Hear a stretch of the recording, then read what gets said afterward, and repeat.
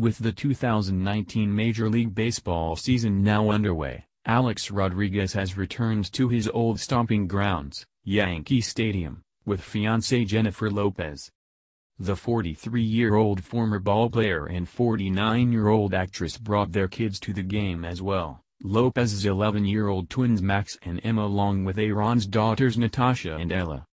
They were also joined by Lopez's producing partner, Elaine Goldsmith Thomas for the game against the Baltimore Orioles, which they watched from the best seats in the house, in front row behind home plate. A perfect Saturday afternoon, Rodriguez said on Instagram. Family. Friends. And a game at at Yankee Stadium. He added, with hashtags hashtag pinstripe pride hashtag NYC hashtag Bronx Bombers hashtag home sweet home. A-Rod was wearing a royal blue sweater under a light blue dress shirt along with some stylish sunglasses for his Yankee Stadium outing. J-Lo was wearing a stylish light blue coat and jeans, with oversized sunglasses and massive diamond earrings, while holding her daughter M on her lap. Rodriguez also took to his Instagram story to share a brief video of him and his bride-to-be singing the tail end of Take Me Out to the Ball Game. Rodriguez played for 22 seasons in Major League Baseball, for the Seattle Mariners, Texas Rangers, and New York Yankees.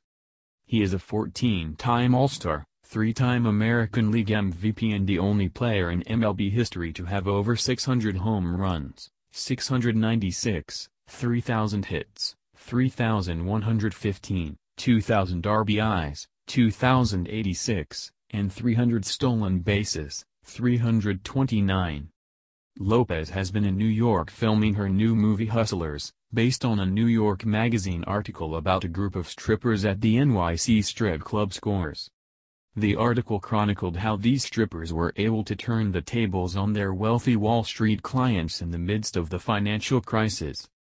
Lopez leads a cast that also includes Constance Wu, Cardi B, Lili Reinhart, Julia Stiles, Madeline Brewer, and Keke Palmer, with Lorene Scafaria writing and directing. Lopez is also getting ready to play Rose Alvarez in a live TV musical version of Bye Bye Birdie that airs on NBC later this year. Lopez and Rodriguez announced their engagement on social media earlier in March, with a photo of the engagement ring J-Lo got from A-Rod.